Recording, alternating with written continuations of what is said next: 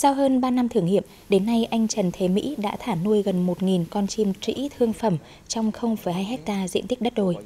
Chim trĩ cũng có khả năng thích nghi tốt, ít nhiễm bệnh dịch, chỉ cần xây dựng chuồng trại kín gió là chim sinh sống và phát triển tốt. Chim trĩ là một ờ, cái con à, là một con vật mới nên cũng gặp rất là nhiều khó khăn, ví dụ như là uh, về nó nó chim thì nó bay về kỹ thuật nuôi chưa đúng ờ, trải qua nhiều trải qua một thời gian thì mình cố gắng khắc phục những cái đó rồi từ từ đó và dần dần nuôi nó nó nó thể nó đạt với phát triển dần dần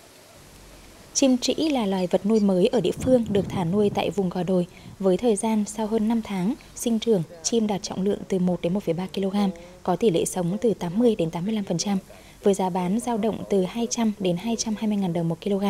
Sau khi trừ các khoản chi phí, anh Mỹ có thể thu về lợi nhuận từ 80 đến 100 000 đồng 1 kg, mang lại nguồn thu nhập khá cao cho gia đình. Ngoài ra, những con chim trĩ có lông đẹp, màu sắc sặc sỡ còn có thể được tách nuôi riêng để bán nuôi cảnh. À, hiện nay thì à, xã đã có những cái định hướng phát triển theo từng vùng và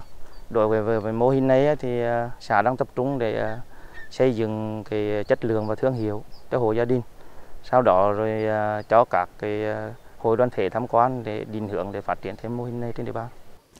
Mô hình kinh tế nuôi chim trĩ đang là mô hình cho hiệu quả thiết thực, mang lại nguồn kinh tế khá cao. Hy vọng thời gian tới, với sự hỗ trợ, quan tâm của các cấp ngành địa phương, mô hình nuôi chim trĩ sẽ sớm được nhân rộng, tăng thêm nguồn thu nhập cho người dân trên địa bàn.